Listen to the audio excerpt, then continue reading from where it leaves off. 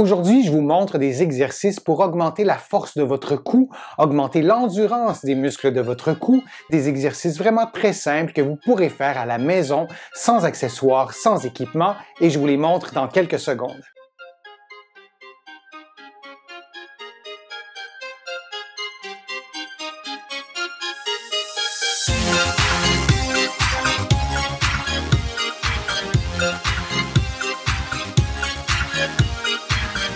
Je suis Denis Fortier. Si vous êtes nouveau ici sur ma chaîne YouTube, je vous conseille de vous abonner en cliquant sur le coin inférieur droit de l'écran. Je vous invite aussi à vous abonner gratuitement à mon infolettre. Beaucoup de personnes se sont abonnées. Vous allez pouvoir le faire en visitant mon site web le www.denisfortier.ca et vous allez aussi pouvoir faire une contribution, ce qui m'aide à vous produire de plus en plus de nouveaux contenus. Maintenant, les muscles du cou, l'endurance et la force des muscles du cou, ce sont des enjeux importants. Lorsqu'on a eu une douleur au cou ou lorsqu'on a une douleur au cou, on veut s'assurer de maintenir une bonne force musculaire et une bonne endurance, c'est-à-dire de pouvoir contracter relativement longtemps sans percevoir de fatigue au niveau des muscles.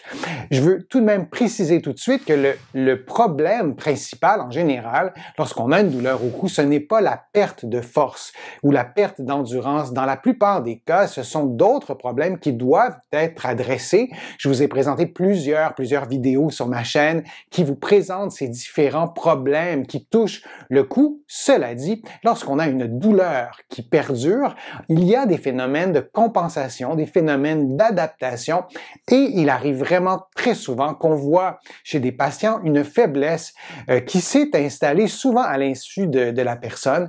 Et aujourd'hui, je vous montre des exercices pour récupérer la force et l'endurance des muscles du cou. Mise en garde, aucun exercice que je vous présente aujourd'hui devrait augmenter la douleur ou provoquer une douleur. Si c'est le cas, vous ne faites pas l'exercice. Vous vous assurez de le faire correctement, d'être dans la bonne position.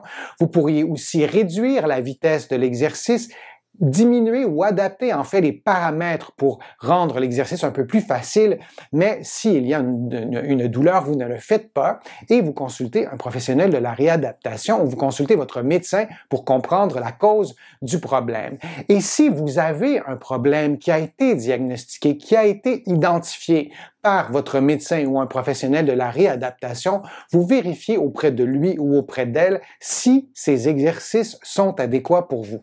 Alors le premier exercice, c'est un exercice résisté en rotation. Vous pouvez idéalement le faire sans euh, porter vos lunettes. Moi, je vais garder euh, mes lunettes et vous placez votre main sur le côté de votre tête et vous tournez, vous essayez en fait de tourner la tête, par exemple, vers la droite mais la, main, la force de la main va bloquer le mouvement. Donc, vous allez pousser dans votre main comme si vous souhaitiez faire un mouvement de rotation. Et vous allez le faire pendant environ 10 secondes. Donc, si on le fait ensemble, on pousse dans la main pendant environ 10 secondes. Là, je vous parle en même temps, c'est difficile de compter, mais vous pourrez compter euh, un chiffre, euh, vous pourrez compter le 10 secondes précisément et vous relâcher. Et vous allez pousser aussi dans l'autre direction. Alors, vous placez vos mains sur euh, le côté du visage et vous faites un mouvement de rotation pendant 10 secondes. Et lorsque vous faites le mouvement de rotation, vous essayez de garder une posture bien alignée. Vous ne voulez pas avoir une posture arrondie comme ça. Et vous allez donc pousser pendant 10 secondes et vous relâcher. On va le refaire ensemble.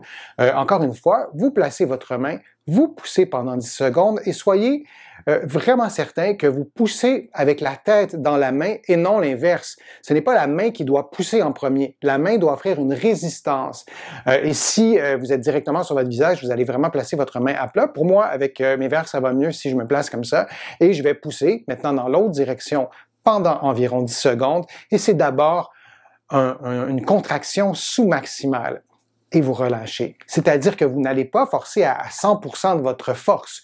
On commence toujours tranquillement et l'idée du programme d'exercice, ce n'est pas un concours de force. L'idée, c'est de récupérer une force normale. La tête pèse environ 4 à 5 kg. C'est quand même assez lourd. On veut s'assurer que la force de nos muscles et l'endurance soient suffisantes pour pouvoir euh, effectuer nos activités de la vie de tous les jours, nos sports ou peu importe vos activités au travail aussi. Alors vous allez faire comme ça, vous allez pousser pendant environ 10 secondes et vous allez faire environ 10 fois chaque côté.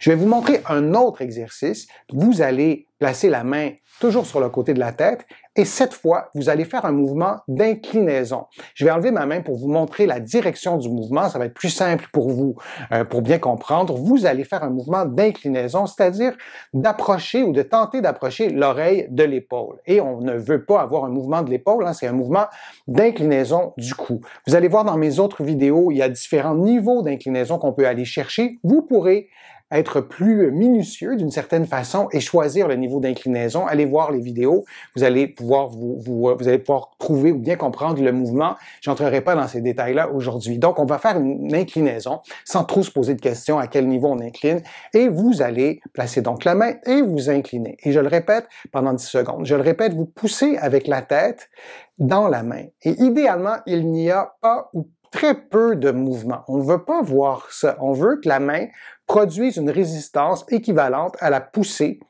euh, qui avec la force que, que, que, génèrent vos muscles et, cette résistance-là de la main doit être équivalente. Et on fait de l'autre côté. Vous placez votre main et vous allez incliner et la main résiste pendant 10 secondes ou environ. Et vous allez répéter cette contraction isométrique pendant euh, donc 10 secondes et vous la répétez, c'est-à-dire environ 10 fois chaque côté. Dans les exercices résistés, on a vu donc la rotation et l'inclinaison. C'est important, pour ne pas dire essentiel, de faire des exercices résistés dans, à différents angles. Vous allez comprendre, la rotation, euh, l'exercice isométrique en rotation, on l'a fait, mais en ayant la tête tournée, par exemple, à 45 degrés, et je vais placer la main, et c'est la même chose, je vais pousser pendant 10 secondes dans la main en m'assurant de ne pas avoir de mouvement, en m'assurant que c'est la tête qui pousse dans la main et je relâche. Et je vais faire la même chose de l'autre côté à 45 degrés. Alors, on tourne la tête de l'autre côté et vous allez placer la main et vous poussez comme ça pendant 10 secondes et vous revenez. Et vous pourriez aussi choisir d'autres angles. Là, j'ai choisi 45 degrés. Je pourrais aller un peu plus loin. Je pourrais aller un peu moins loin. Et c'est une façon de, reconstruire plutôt votre force musculaire progressivement. Je le répète, ce sont des contractions sous-maximales. Ce n'est pas un concours de force. Et vous faites bien sûr toujours l'exercice des deux côtés et c'est le même principe pour l'inclinaison. C'est la même variante. Vous allez Inclinez la tête cette fois un peu plus loin, vous placez votre tête et vous poussez dans la main pendant 10 secondes, sans mouvement, sans pousser en premier avec la main, mais plutôt avec la tête, et vous revenez. Faites attention aussi lorsque vous faites l'exercice d'inclinaison de ne pas tourner en même temps. Votre regard devrait toujours euh, être devant vous. On ne devrait pas avoir une rotation. Et c'est la même chose lorsqu'on fait la rotation. On ne veut pas en plus, sans euh, le faire involontairement, mais ajouter une inclinaison, ce sont des mouvements simples, on ne les combine pas. Le prochain exercice se fait coucher sur le dos. C'est le même principe. On va utiliser le mouvement de rotation et le mouvement d'inclinaison, mais dans une autre position. Et on va se servir de la gravité pour augmenter le niveau de difficulté. La tête, je vous le disais, pèse entre 4 et 5 kg. Donc, on aura un poids quand même assez considérable pour augmenter la force et l'endurance des muscles. Alors, vous allez vous coucher sur le dos. Dans mon cas, je vais faire l'exercice euh, en en ne mettant pas un objet derrière la tête, euh, vous pourriez mettre un objet, vous pourriez mettre un, bloc de yoga, vous pourriez mettre des livres. Moi, je vous encourage de choisir un, objet qui est, qui est assez solide, là, de ne pas mettre quelque chose qui est mou. Mais vous pourriez aussi le faire directement si vous êtes confortable. Moi, je suis confortable dans cette position-là. Et donc, on va garder la tête en position neutre et vous allez soulever la tête d'environ 1 ou 2 cm. C'est vraiment très peu. Alors, je vais le faire. Vous allez donc lever la tête comme ça et vous allez tenir votre tête pendant environ 5 secondes ou moins et vous allez redescendre. Si de faire ce mouvement-là avec la tête, c'est trop difficile, c'est trop lourd. Évidemment, on ne peut pas enlever du poids à la tête, heureusement d'ailleurs. Vous allez vous aider avec votre main je, vais vous montrer avec cette main-là, vous allez placer votre main et vous allez lever votre tête, mais vraiment avec les muscles du cou, et vous allez vous aider un peu avec la main pendant 5 secondes et vous allez redescendre et vous allez faire environ entre 5 et 10 fois, mais vous adaptez les paramètres des exercices. C'est la même chose avec toutes mes, vidéos, vous le savez, vous, vous adaptez vraiment les paramètres à vos capacités physiques. Et avec le temps, vous allez probablement parvenir à faire l'exercice sans votre main. Ça pourrait être un bel objectif de tenir, donc de lever la tête et de pouvoir tenir 5 secondes et ensuite on relâche. Attention, erreur à éviter. Lorsque vous levez la tête, on ne veut pas lever la tête en mettant l'emphase sur le menton. Là, je vais un peu exagérer, je vais un peu caricaturer, mais on ne veut pas faire ça comme ça. On veut, durant l'exercice, jusqu'à un certain point, rentrer le menton. On voudrait plus être comme ça que de cette façon-là. C'est une meilleure façon de stimuler les muscles de votre cou. Alors ça, c'est une première version de l'exercice. Une variante du même exercice, c'est de faire le même mouvement, mais en, en, en faisant préalablement une rotation. Alors, on va tourner la tête environ à 45 degrés, et là, vous voyez le lien avec les exercices précédents. Et après avoir tourné votre tête à 45 degrés, je pourrais tourner un peu plus pour que vous voyez peut-être mieux. Vous allez lever votre tête comme ça. Et vous tenez encore environ 5 secondes. Et c'est la même chose, vous pouvez vous aider avec votre main.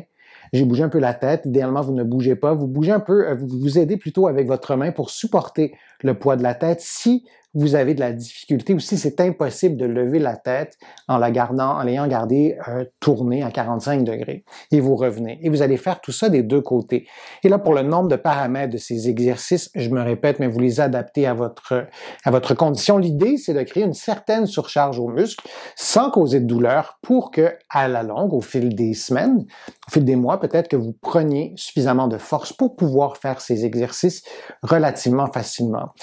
Une autre variante du même exercice, vous tournez la tête pratiquement à 90 degrés. Certaines personnes n'ont pas la mobilité du cou qui leur permet de tourner à 90 degrés. Alors vous allez jusqu'à votre euh, mobilité normale sans coincer votre cou à la fin du mouvement. Alors vous tournez donc la tête à 90 degrés et c'est toujours le même exercice.